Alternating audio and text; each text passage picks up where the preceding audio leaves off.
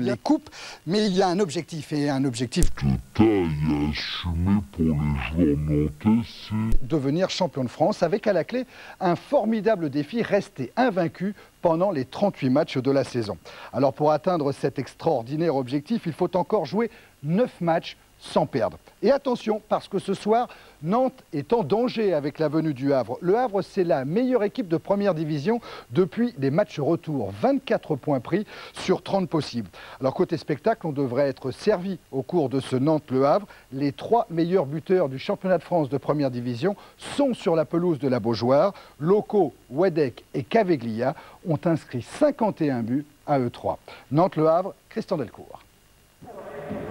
Si Thierry vous le confirme, c'est donc que le compte est bon. Un 9 plus un 7 plus un 11 égale 50, 51. Tout le monde du football est bien d'accord. Wedek, Caveglia et Loco valent donc plus que triplette. Premier numéro à sortir de sa boîte. Dès la première minute, le 9 de Wedek pour un premier sauvetage de Revaux. Pour faire un duo en foot, il faut un numéro complémentaire et le 11 de Loco s'élève pour un nouveau frisson sur le corner qui avait suivi.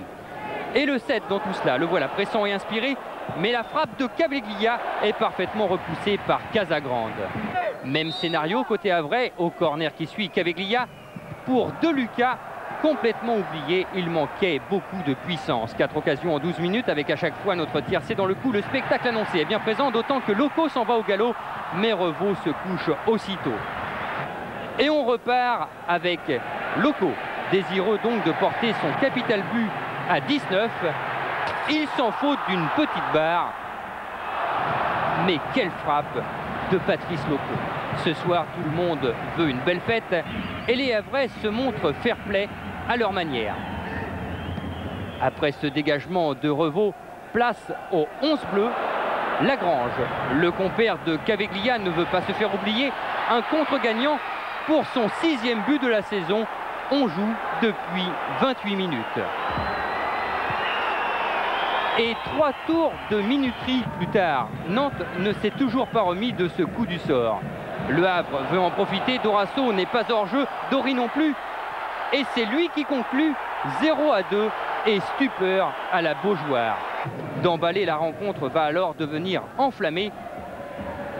Et sur ce service de locaux, Pignol réveille les troupes nantaises, mais il en faut beaucoup plus pour faire céder la main de fer de Revaux. Alors peut-être avec Endoram esselé. Et cette fois-ci, Revaux a besoin de ces deux points, mais sans troisième main, impossible d'arrêter la reprise de Renou. 1 à 2, devenu jaune pâle, les Nantais redorent leur tunique.